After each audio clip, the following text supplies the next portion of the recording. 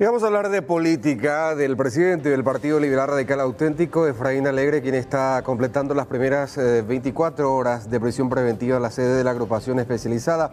Desde tempranas horas de hoy recibió un sinnúmero de visitas, a pesar de estar en cuarentena preventiva, según las autoridades de la agrupación especializada. Aprovechó la oportunidad de Efraín Alegre para repostularse a la presidencia de su partido, el PLRA.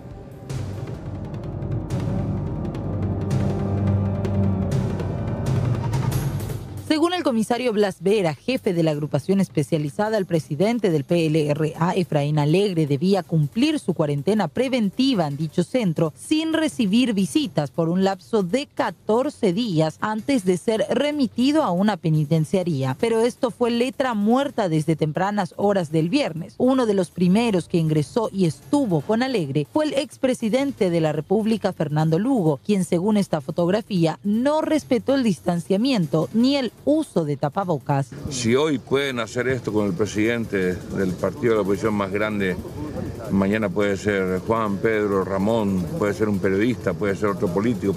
Y creo que la justicia es selectiva.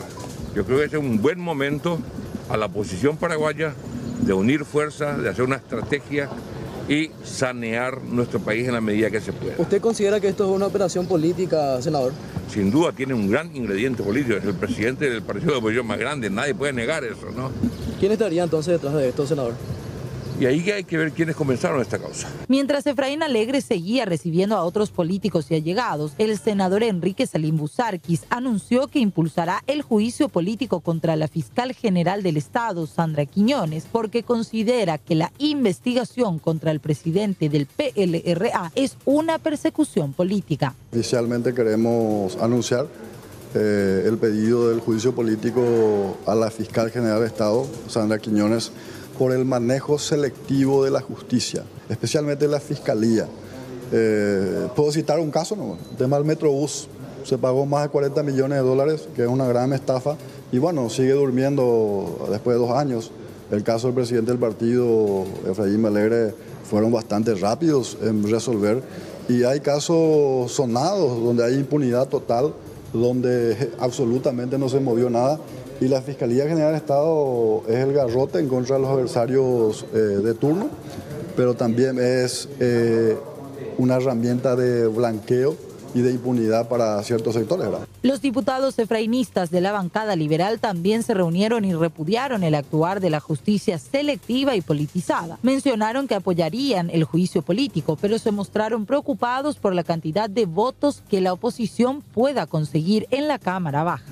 Ese sí es un problema de la Cámara de Diputados, donde en realidad se inician también a veces el juicio político. Ustedes saben que el juicio político requiere eh, la mayoría de dos tercios de la Cámara de Diputados, de los presentes significa eso.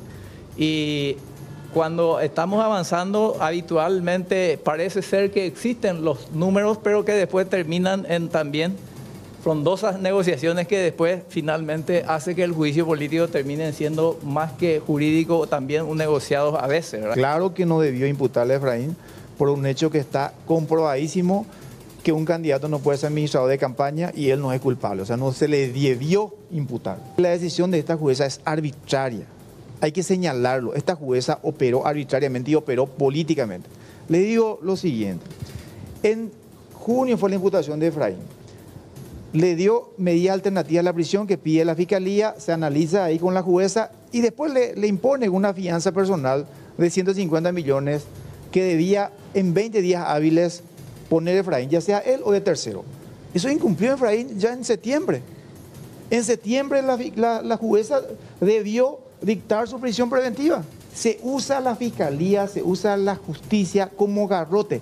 Sacan la prisión preventiva porque creen que ahora Efraín tiene que ir preso un 28 de enero. Tras las rejas y mediante una carta dirigida al presidente del Tribunal Electoral Independiente, Carlos Viveros, Efraín anunció este viernes que se volverá a candidatar como presidente del Partido Liberal. Desde el lugar de mi reclusión, me dirijo a usted y por su intermedio a los demás miembros del TEI a los efectos de expresar por este medio la aceptación de mi candidatura a presidente del directorio del Partido Liberal Radical Auténtico para las elecciones internas de renovación de autoridades partidarias a llevarse a cabo en fecha 20 de junio del 2021, simultáneamente con las elecciones internas municipales de los partidos políticos. Sin otro particular, me despido muy atentamente y con un mensaje claro. A la mafia le enfrentamos, le resistimos y venceremos. Efraín Alegre, presidente del Partido Liberal de Calauténtica. La investigación a Efraín Alegre se basa en facturas falsas que fueron presentadas en la rendición de cuentas de su campaña electoral por la presidencia en el año 2018. Efraín está siendo procesado por producción de documentos no auténticos y producción y uso de documentos públicos de contenido falso. Su defensa no descarta apelar la prisión preventiva.